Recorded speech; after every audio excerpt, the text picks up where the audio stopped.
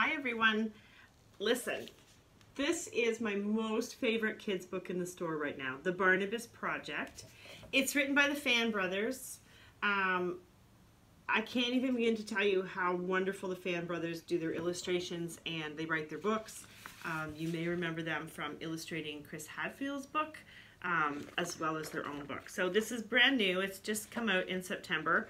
Um, it's about Barnabus. He's half mouse and he's half elephant. And I just get all warm and fuzzy thinking about this. The Barnabus Project. I'm actually going to take this cover off while I read it.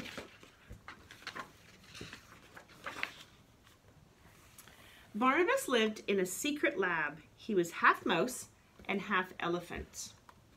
And he had lived in the lab as long as he could remember.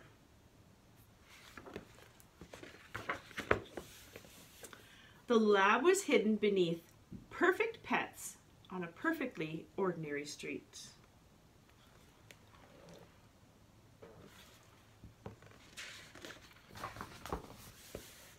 It was deep underground where no one would ever find it.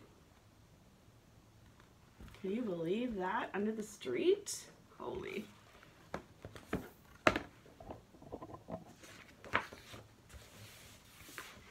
The lab was where they made perfect pets. Except Barnabus wasn't quite perfect. He had been put in a part of the lab called failed projects. Oh dear.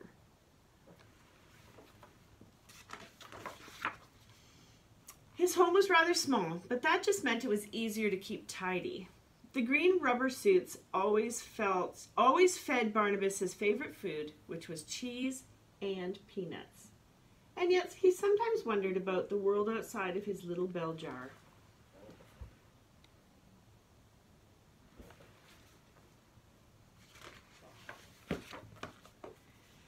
It was Pip the cockroach who told them stories about the world above.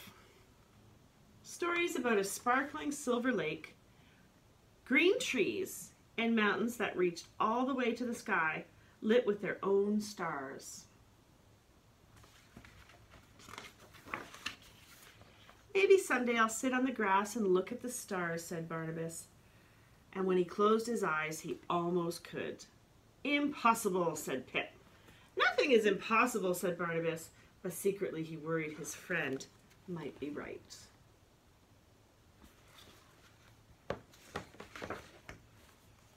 At that moment, the green rubber suits came in.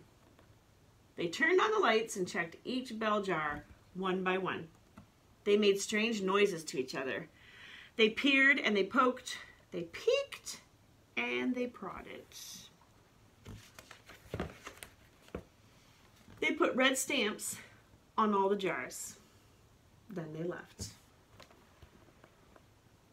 The red stamps say fail.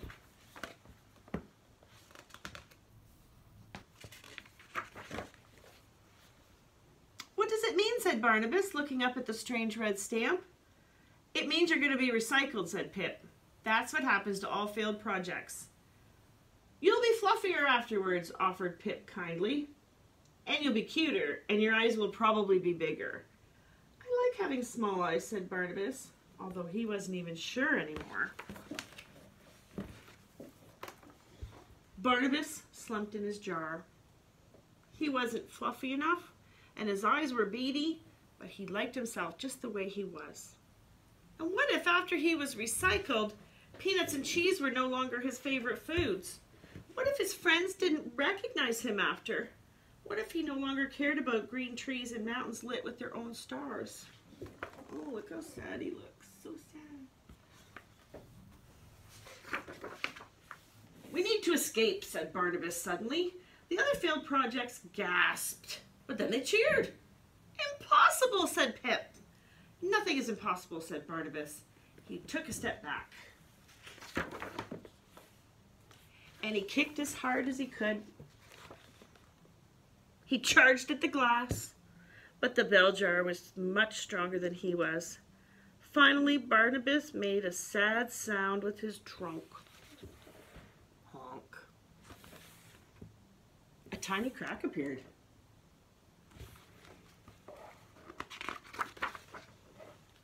Wow! Look at that, he busted out. Way to go, Barnabus. He was free.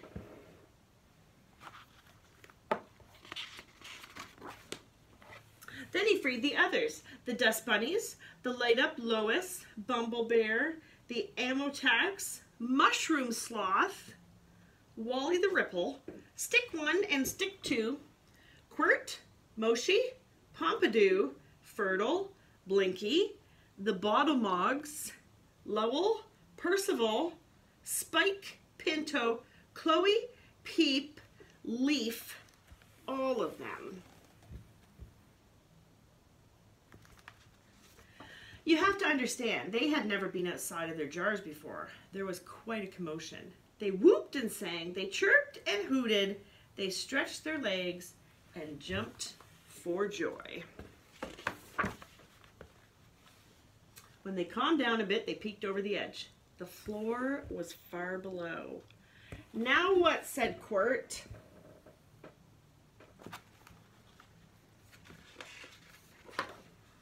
We have to work together, said Barnabus. One by one, they helped each other down. Okay, so I really like this fuzzy guy. That guy. I'm not sure what his name is, but I really like him. Until they finally reached the floor. Shh, said Barnabus. And they all fell silent. Then they heard it too. Footsteps in the corridor outside.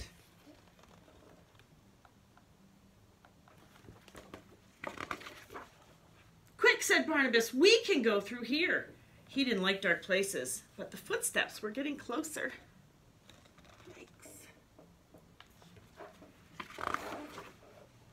Everyone crawled into the vent with Light Up Lois leading the way. It was a tight squeeze for some of them.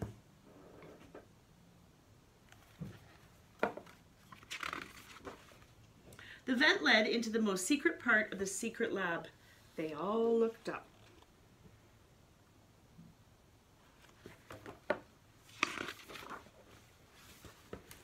We need to run, cried Pip. But Barnabus couldn't run. The great sad eyes seemed to be looking directly at him. We can't leave it behind, said Barnabus. It's scary, said Pip. It's monstrous, said Quirt. It's appalling, said, the Amotax. It's a failed project, said Barnabus, just like us.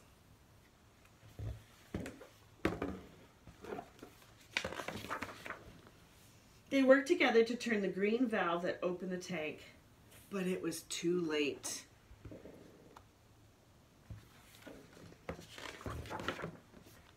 The green rubber suits had found them. Just when all seemed lost, the tank doors flung open and water flooded into the lab. Look at this guy.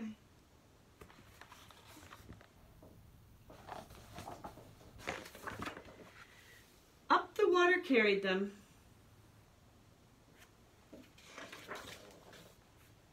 Up to the world above. Look, they're in the pet store. Perfect Pets pet store.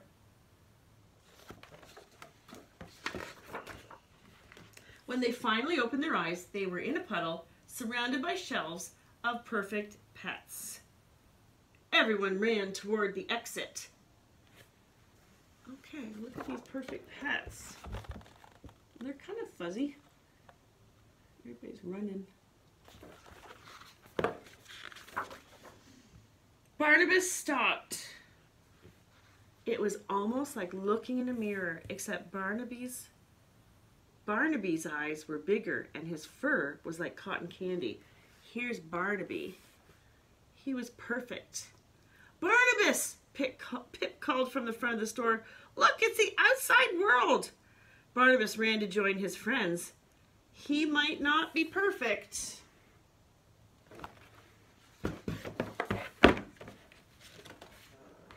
But he was free. Oh my, look what they've done to the building.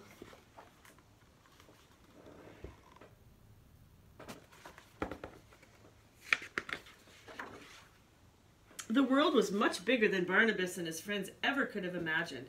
And just like Pip said, there were mountains that reached to the sky, lit with their own stars.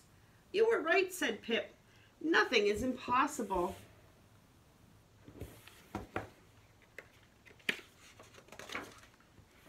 Soon they found a place full of sunshine and happy noises and green trees and soft grass. A place that might be home.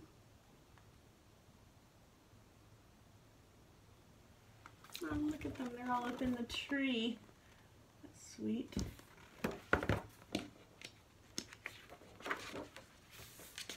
It wasn't always easy.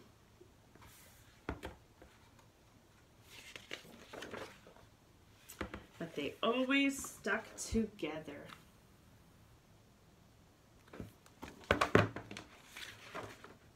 That's nice. I love that book. Whoops. Get the cover again. So listen, if you come and you want a good storybook for Christmas, I'm selling you this one, okay? I love it so much. Thank you.